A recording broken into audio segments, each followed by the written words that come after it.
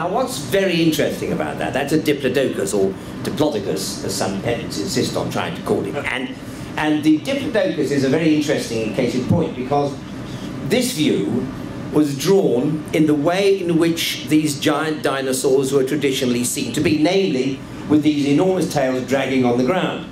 Those of you who are old enough to remember going to see Dippy, the replica skeleton in the foyer to the Natural History Museum in London, will remember that until the 1990s, that tail too lay on the ground.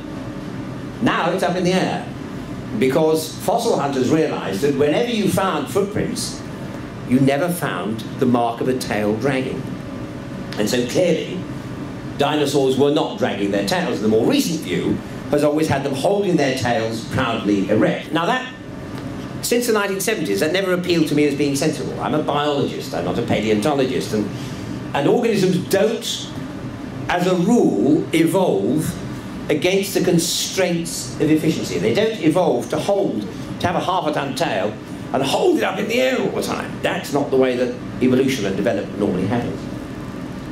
And you can see the difference when we go and look at these enormous dinosaurs in that wonderful movie Jurassic Park. Once we'd seen Jurassic Park, we all felt we'd really seen dinosaurs. Their CGI, their computer graphic reconstruction was wonderful, incredibly detailed, very accurate, and with the very best of scientific information being given to make sure that it was all correct.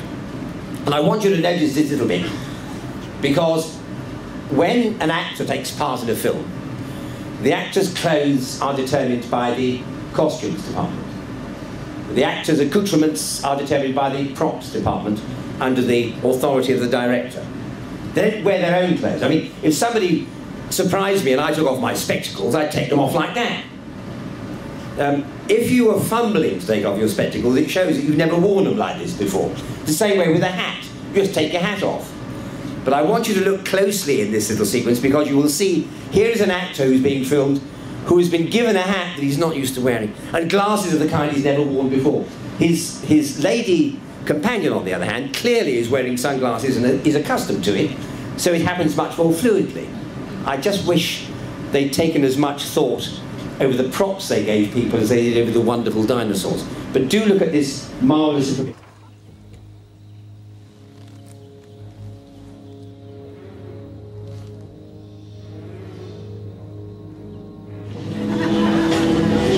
glasses.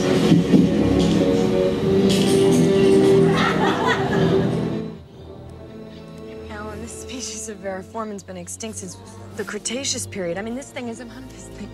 What?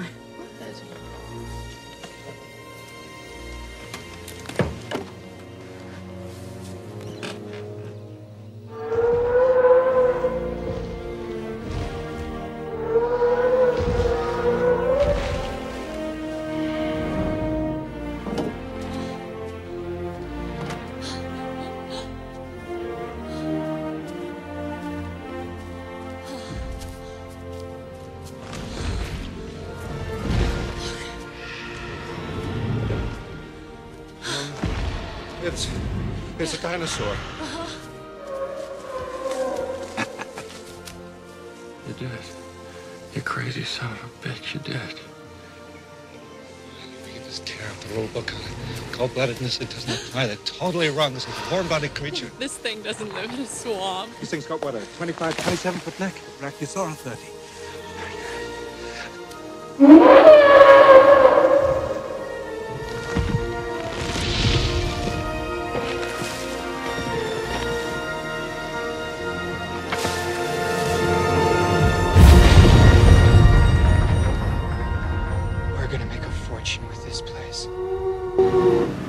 Isn't that a wonderful sequence?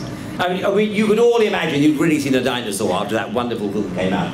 Notice, by the way, two things. Firstly, you can tell he's a scientist because after looking at it for several seconds, he turns to his friend and says, It's a dinosaur. Very sharp observer, you might think. And not only that, I, I want you to notice the fact that the forelimbs are a lot longer than the hind limbs. That, that fact will re-emerge, as you'll see.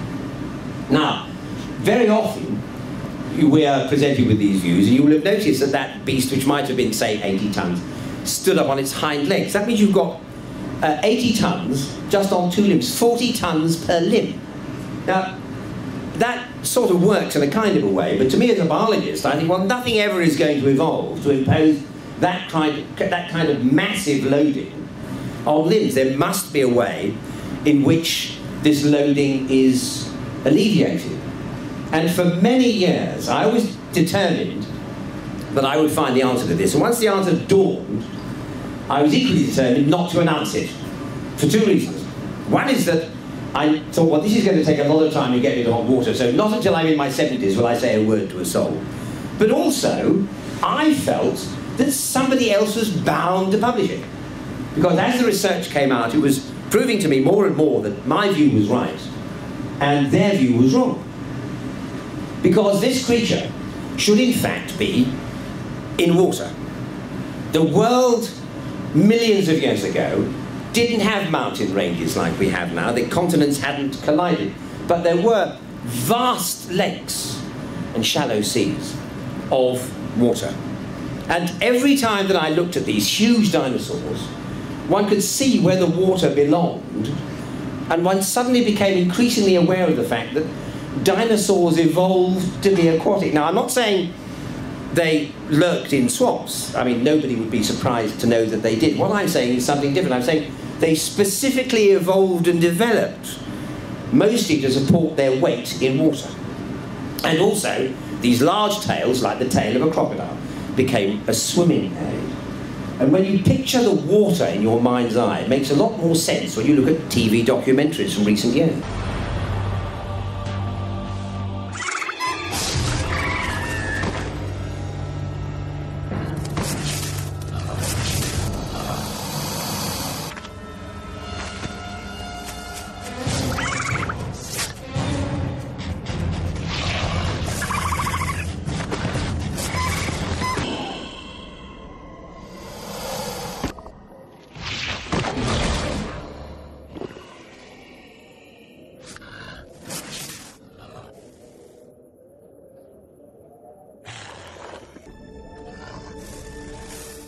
This is an archosaur, a kind of a, a, a very prehistoric version of a crocodilian. And I mean, if we look at a still from that video, you can see what I mean. It's got hind legs like a person. They've given it human hind legs. And it's standing up in the air. In the movie, you saw it leaping across a sand dune like a gazelle or a young goat. These things could weigh tons. You can see that it's got an armour-plated back and a, a smoother belly, just as modern crocodilians do. And if you picture that in water, it makes a lot more sense. Some of the reconstructions are utterly absurd. Like this, where again it's skipping like a gambolling lamb. These creatures evolved to live in water. And the perversion of showing them jumping about on mountaintops is arbitrary and, in my view, due to be replaced. Now look at one of these gorgeous reconstructions by Raoul Martin, who is a, perhaps the foremost uh, artist, graphic artist, who recreates dinosaurs and what they look like. I mean, these Diplodocus dinosaurs are often found fossilized in mud, in, in, my view, because that they lived in shallow water, but they're always portrayed as being on the edge of water. And I'm always saying, get in the water, you idiot, you're wearing your legs out. If you, if you look at those and you imagine that they had water up to their shoulders, then suddenly the entire scene makes far more sense. On occasions, and I'm going to show you a different creature here called Montosaurus. This is included on a community church in Rochester, New York, included on their website, where they had a debate as to whether dinosaurs had souls, and if so, would we encounter them in heaven? It's a religious argument on which I don't propose to elaborate at the moment, and on which many of you may have your own views. But the notion that you've got this sort of five, seven, ten ton dinosaur, you know, four, six times the size of the biggest elephant, skidding about on the beach like a child on holiday, is utterly absurd. In fact, they made a documentary with this kind of dinosaur, and it was beautifully narrated by Stephen Fry. The BBC have spent enormous sums in making wonderful recreations that are all wrong. In this one, they look like cattle. That's not how reptiles are.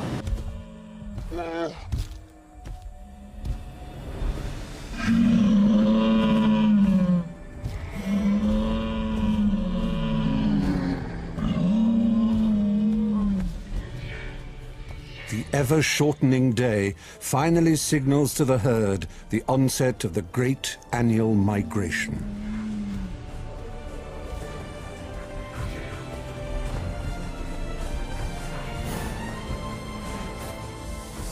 It's time to head south towards the sun in a grueling 1,000 mile trek to find food, light, and safety.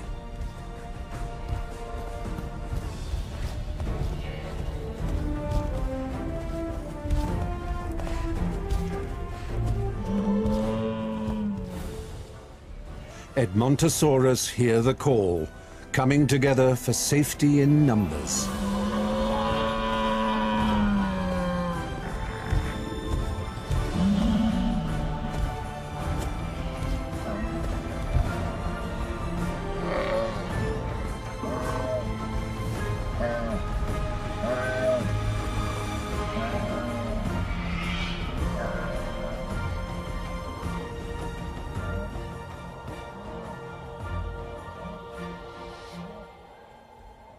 The March of the Dinosaurs has begun.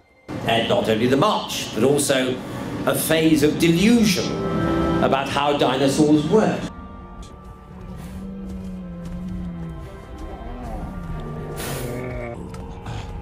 And if, of course, you imagine, again, water out of the shoulders, the entire scene immediately makes sense.